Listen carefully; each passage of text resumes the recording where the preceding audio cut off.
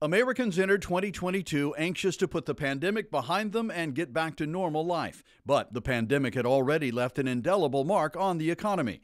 Labor shortages and supply chain disruptions sent prices soaring on everything from gas to groceries, automobiles to airfare. We also have to remember the other exogenous shocks, including war in the Ukraine, China lockdowns, volatility in the energy prices. So we're almost in this period of a perfect storm that was triggered by a pandemic. Eggs were up 39%, milk 17%, beef and pork nearly 7%. Overall, grocery prices were on track to increase by more than 11% during 2022. Gas prices began the year at about $3.38 per gallon and peaked at a national average of 5.10 on June 14th.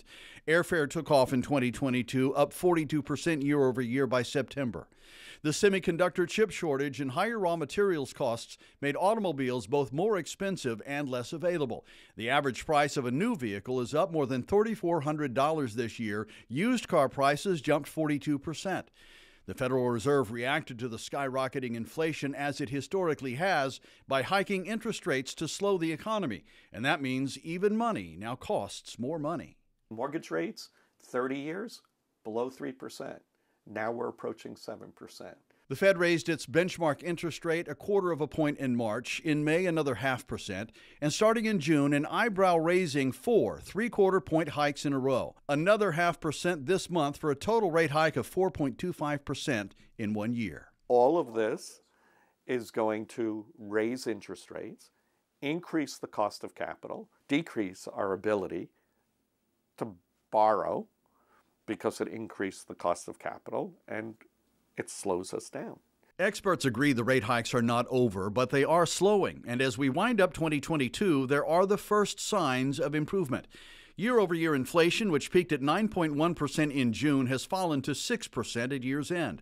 After six months of contraction, GDP grew at an annualized rate of 2.9% in the third quarter, and gas prices have settled back down to last January's numbers.